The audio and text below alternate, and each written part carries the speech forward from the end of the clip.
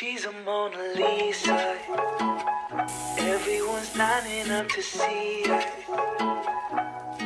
She's Right, so hello, my name is Lisa. Most of you guys probably know that I used to weigh 32 pounds heavier than I am now. And that's around maybe, I think 17 or 18 kilograms. And in this video, I'm going to go over some of the things that helped me to get to where I am now. I'll take you through what I eat in the day. I think, no, it might be a week actually. I'm probably not going to show you today because it's quite late right now, maybe tomorrow. But I want to specifically do this video about not feeling restricted when you want to lose weight. So when you've come to the realization that you want to lose weight or you think, okay, I think it's time to lose weight, it's usually something that kind of hits you hard.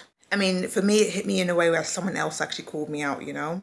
I mean, I talked about it before, but for me, it was a horrible boy that my friend was going out with at the time. He took it upon himself to tell me that I was fat. And although I was not fat, well, I wasn't what I would consider to be fat anyway but I had put on a significant amount of weight and just hearing someone else say it to me was just it cut me so deep. Even if it's not in a way where someone's fat shaming you, even if it's just like you've gone and weighed yourself and you are significantly more than you thought you were in your mind or you remembered you were, it just sparks this kind of feeling of almost guilt. Like if you've never been in the situation before, um, you might not understand. It is just like a sudden urge that you just feel so guilty and so sad that you've done this yourself. You literally start having like these flashbacks back to like times where you've been sitting on the sofa eating Ben and Jerry's. I was like, damn, how could I eat Ben and Jerry's every night? Look what I've done to myself. And you just feel like you want to erase things, you want to start again. And that kind of rush of negative feelings just makes you want to do something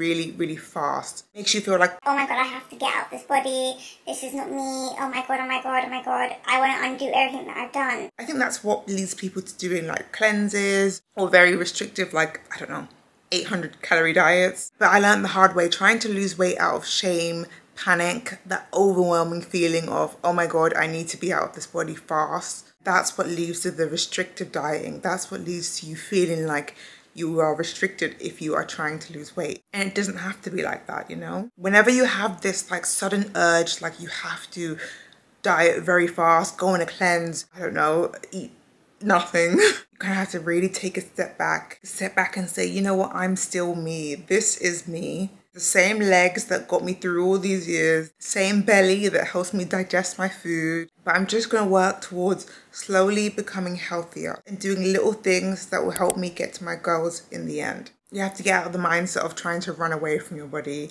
and more into the mindset of trying to make healthy habits or a healthy routine that helps you to get to where you want to be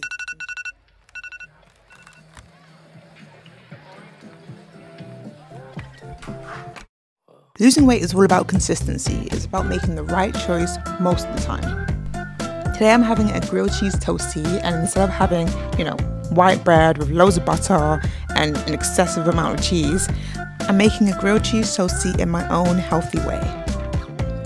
Once you start making these changes in a way that feels more natural and suitable for your lifestyle, you'll master one thing and then you want to make another change for the better and another and another until literally you see food in a completely different way.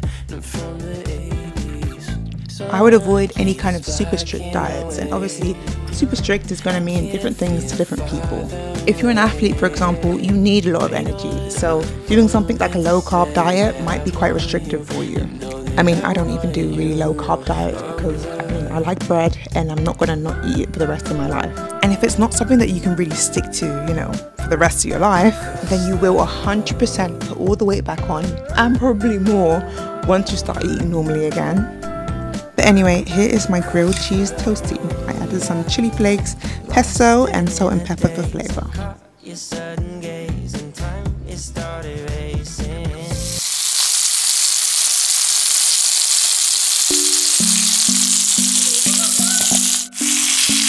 There's a difference between changing your life, transforming yourself, and then losing a bit of weight to fit into a dress and then two weeks later gaining all the weight back. During all these like random diets I tried before, I always took my measurements, telling myself I have to be a certain size or a certain weight.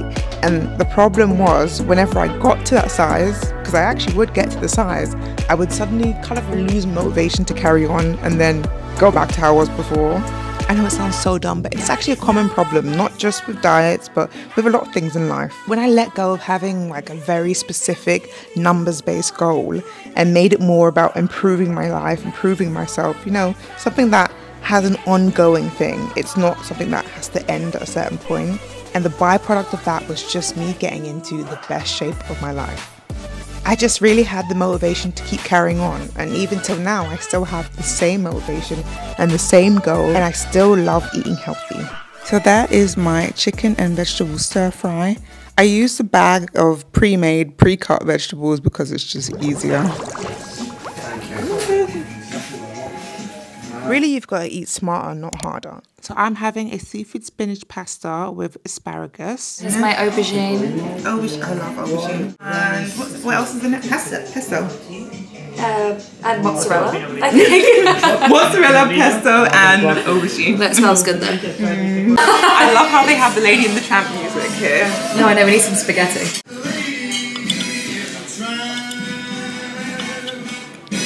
That actually looks so good. A lot of people think that they can't eat out if they're trying to get in shape, but I always choose really balanced meals or things that are very vegetable based. I like to choose once, maybe twice a week that I go out for dinner with my friends or my boyfriend, and then the other times we do something else like, you know, a workout class or just something fun. So I've just thrown in some oats and egg. This white stuff is baking powder. I, I don't know if you can hear that. Can you hear it?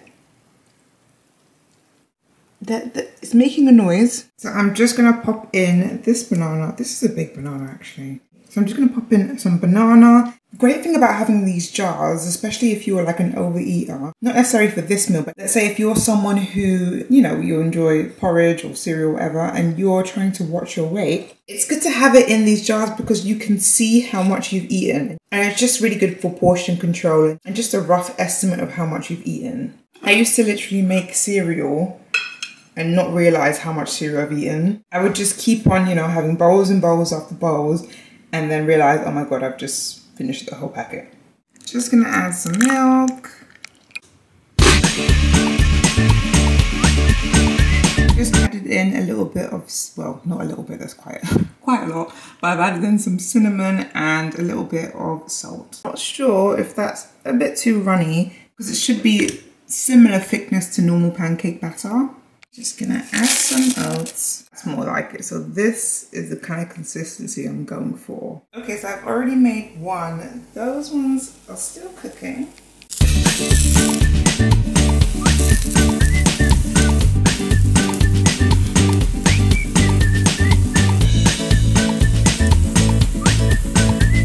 It should be ready. Well, this one actually I made first, so let's put this one over here. And then the next one, I think I'm gonna make the rest of the batter and then these are the ones I'm gonna eat, but I think I'm gonna make the rest of the batter and save them for later.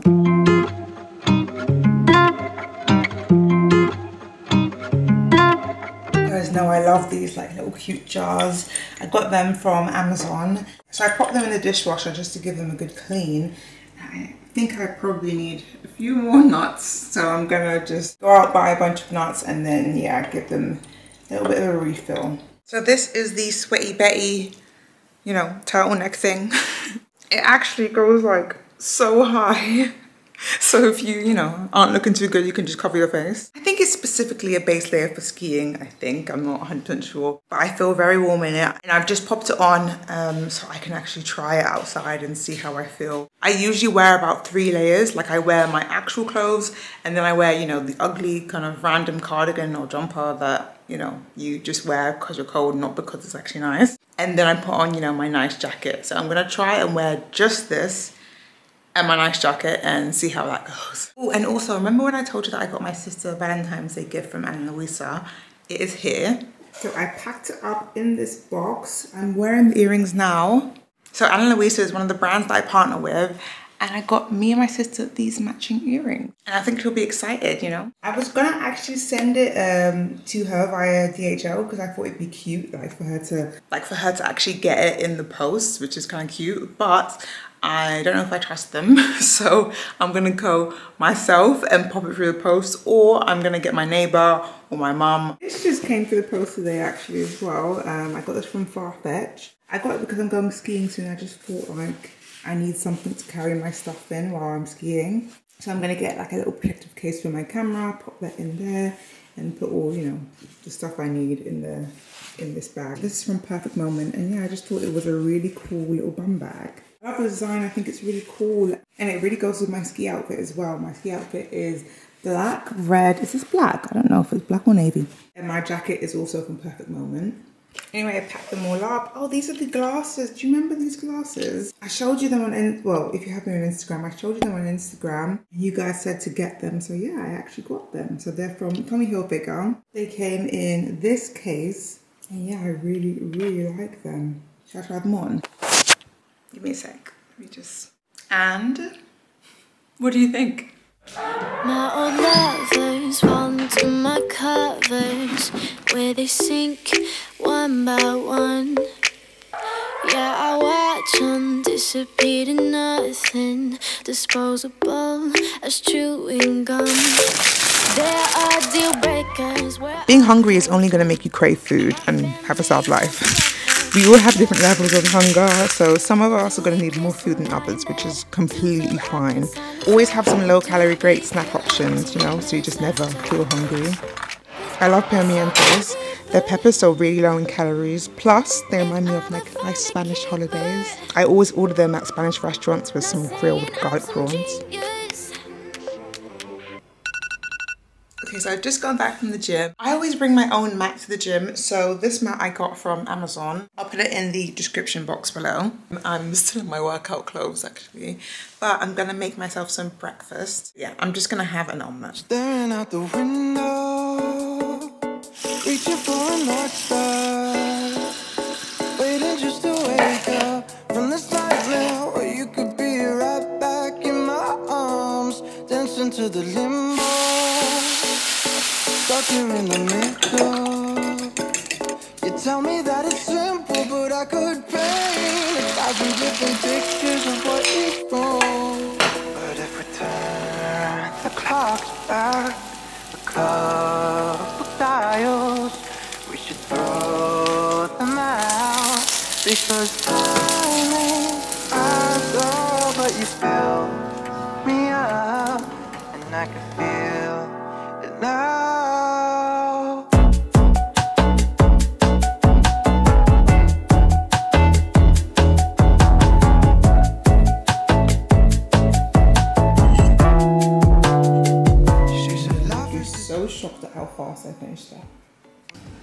making a smoothie bowl. I put in some acai and then some chocolate cacao powder on the bottom. Some Greek yogurt on top as well. Just gonna put in some vitamin D drops as well. This is a mistake that a lot of people make. Just because something is healthy and nutritionally dense doesn't mean that it's low calorie. It's a balancing act because some of those things that are high in calories are still super nutritious. We just need to be a bit mindful about how much we're eating.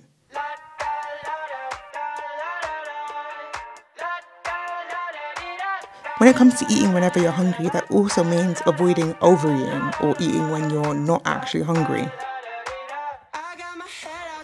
In today's world of everything being supersized, everything needing to be in excess, you've got to get around the root of the problem. Is it because you're eating out of boredom? Is it because you feel scared you're going to run out of food? I used to have this irrational fear that I might not have enough food later, so I would eat in excessive amounts at the time, just in case I run out of food later, which obviously I never actually needed to do that. I like to get the mixed tortillas. This is white flour and wholemeal together. And the mustard I've used, you can kind of see it's like that grainy type mustard, you know, not the American style type mustard. This is a Dijon mustard. This is my chicken. I've showed you how to make this chicken in another vlog. I'll link it in the description box below. It's so good. So I've made it out of oat flour. So I've just blended some oats and yeah, made it out of oat flour. So I dip the chicken in some eggs and I use paprika, cayenne pepper, thyme, just a bunch of seasonings, obviously salt and pepper. And it's so good to make it like this because it keeps it nice and tender inside. You see how crispy that is? Then here's my boyfriend's plate. Obviously, he's bigger than me, so he'll eat more. He needs a lot more to keep him kind of satisfied. The rest of the stuff I didn't use from the smoothie bowl, I put in here, I just made into little lollipops. So I'm gonna have one of these lollipops now. I got this thing on Amazon, but you can get it at any kind of supermarket, I think. Oh god, guys, look what's come from Farfetch. Oh, you don't understand how excited I've been for these. Okay, let me show you what they are. Oh no, no, no, it's this way. Okay, let's show. Oh my god, they're so much bigger than I thought they were gonna be. I love them. Okay, look, this is my hand and this is the, well, you can't really tell. Um, let me put them on. Later. Starting to think it doesn't have to be this way. I don't have to wash away. If you struggle with overeating, I have a video called Model Diet Tips Anyone Could Do to Lose Weight. So maybe that will help you. I know I always say this, but it's so important. One of my favorite ways to get more vegetables is making some coleslaw because some white cabbage, the red cabbage, the carrots, it just makes it super colorful, crunchy, tasty, and just delicious, especially in coleslaw. And the best thing about making homemade coleslaw and even homemade food in general is that you can choose how much of the high calorie foods that you actually want in it. So, for example, I did use a little bit of mayonnaise in this, but mostly Greek yogurt.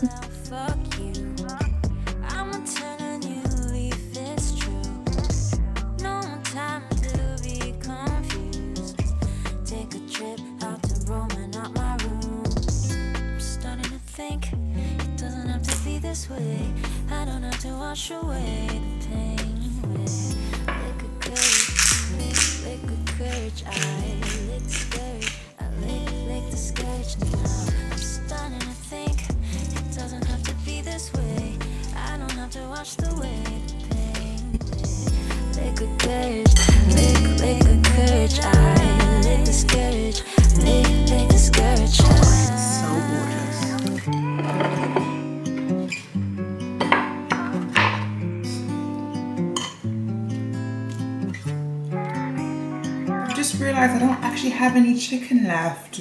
Usually meal prep chicken and have it in the fridge, but I don't have any left. This have to do. So that's it from me, guys. Remember to like and subscribe. I will see you in the next video.